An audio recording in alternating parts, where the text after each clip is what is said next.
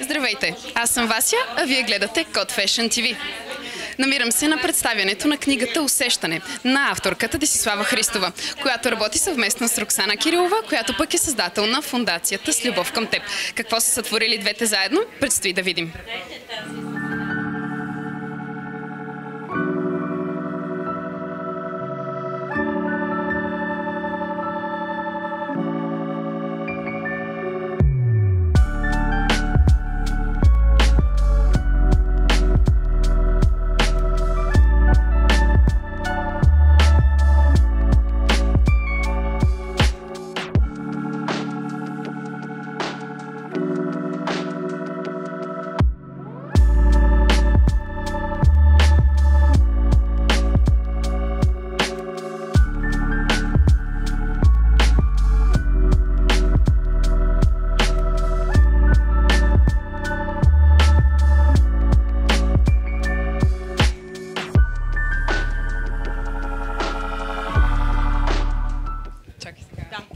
Теб ще започна. Добре. Добре.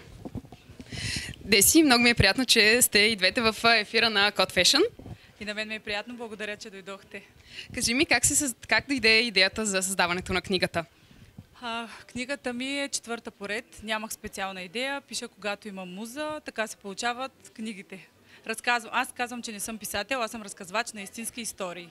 Ти казаш, че си разказвач на истински истории. За всеки ли, е, за всеки ли са твоите разкази? За кого са подходящи? А, те са точно за всеки. Те са от всеки за всеки. Това са истории, в които всеки може да се препознае. А, друг е дали ще признае през себе си, че се намира вътре в разказите, но ако, се, ако бъде честен пред себе си и се препознае, има шанс да поправи някои а, ам, негативни черти и, и да открие себе си в други разкази, които са по-положителни. До теб обаче стои създателят на една прекрасна фундация с любов към теб. Разкажи ми как а, пък а, се роди тази идея да работите заедно. Ние сме приятелки от 20 години и всъщност всичко, което правиме в живота, се подкрепяме взаимно. Аз подкрепям нейните инициативи, тя подкрепя моите. На 24 май беше представянето на книгата Усещане във Варна и там се роди идеята в зимата да бъде представена в София. Аз от моя страна реших, че Фундация с любов към теб ще подкрепи с социална кауза и намерих такава подкрепа на две дечица, болни от скелиоза. Плановете на, на фундацията са главно да помага на деца ли или ще има и други хубави инициативи, върху които ще се фокусирате за напред? Фундация с любов към те помага там, където а, усетиш със сърцето си, че може да помогне, защото хората не винаги имат нужда само от а, финансови средства. Те имат нужда от подкрепа, имат нужда от любов, имат нужда от разбиране. И там, където с любов към теб може да бъде, ще бъде. Ти самата припознаваш ли се в нейните разкази? Кажи ми какво е твоето усещане, когато че, прочете усещане? Ами, всеки се открива в разказите. Аз съм убедена. Не всички обаче ще си го признаят, защото книгата е много пряка. Много директна. Да, Директна и пряма. да. По-скоро, да. И всъщност не всеки ще се признае, че се открива, но аз да, откривам се в разказите. Дори понякога съм и муза за тези разкази. Това е много интересно, разкажи повече. Моите приятелки често са ми муза, тъй като най-много общувам с тях и знам най-много техни истории. Да, пиша и за тях, пиша и за други хора, които са около мен, пиша и за себе си. А, аз съм такава в живота много пряма и директна, така че и така пиша. А, за мен нещата трябва да се казват а, направо без заобикалки и без да... м, Да, без маски и без да се чудим кое как да бъде да, заобиколено. Какво е посланието, изобщо усещането, което искате да оставите двете заедно, като съвместна работа, изобщо когато хората си помислят за фундацията или за книгата Усещане? Ами, ние имаме четири думи, които всъщност ги използвахме. Това са любов, светлина, А, мир и доброта. Мир и доброта и любов и светлина, това са едни прекрасни послания. А, на кого бихте препоръчали книгата? Аз не бих препоръчала нито една моя книга на, на никой конкретно, нито а, са писани за конкретен таргет. Ако ня... Аз е, това съм и написала в тази книга в анотацията, че тя не е за всеки.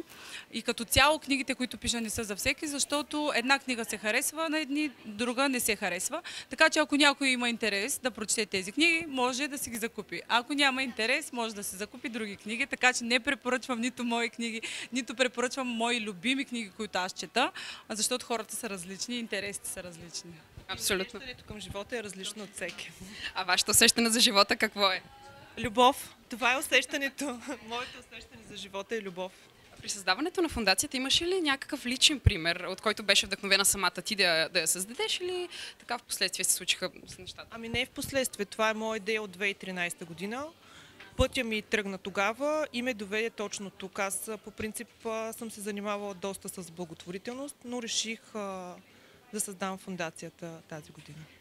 Много ви благодаря, желая ви много успех и ще се насладим на тази вечер заедно. Благодаря. И ние ви благодарим. Здравейте всички, приятели.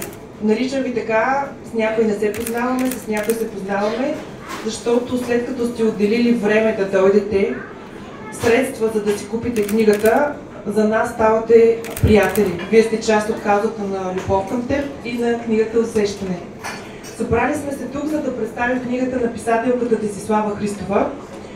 Фундация с любов към теб е подкрепа с една кауза на две личица, които са болни от скелиоза. Майката на личицата е тук и ще разкаже няколко думи за коварната болест, която е бича на 21 век при децата.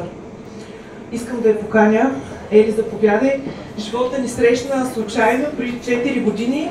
Ние не се бяхме виждали с нея. Работехме заедно, но без да се видиме. И септември месец случайно се засякохме в офиса.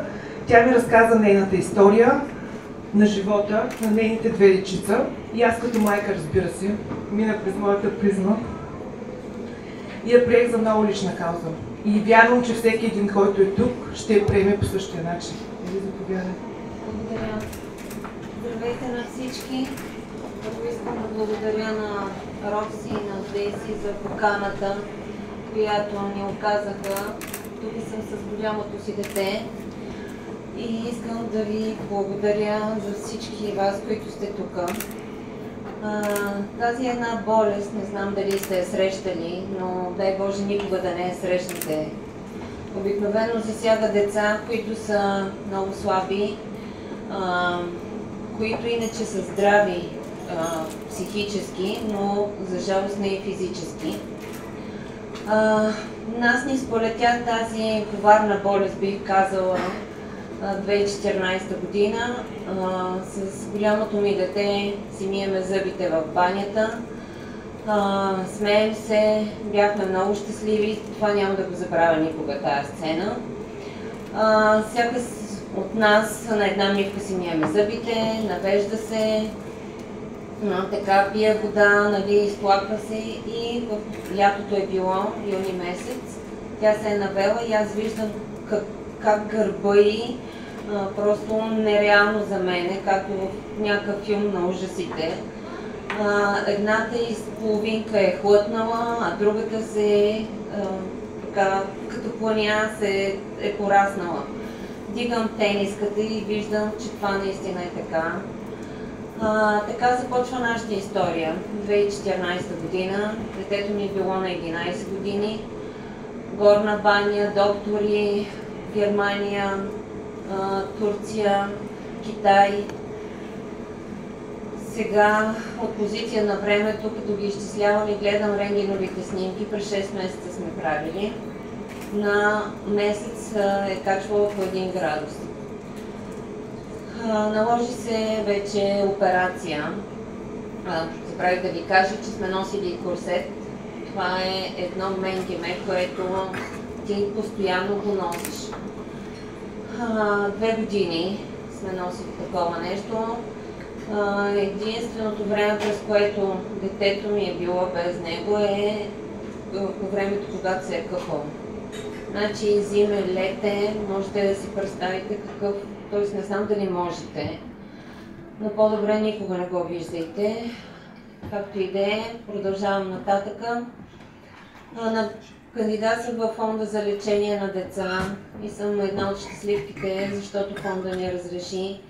И ние отидохме а, февруари месец 2019 година след първата операция, последва още една, в момента детенцето ми е с 24 пирона в гърба, но е изправено, щастливо, вече има самочувствие.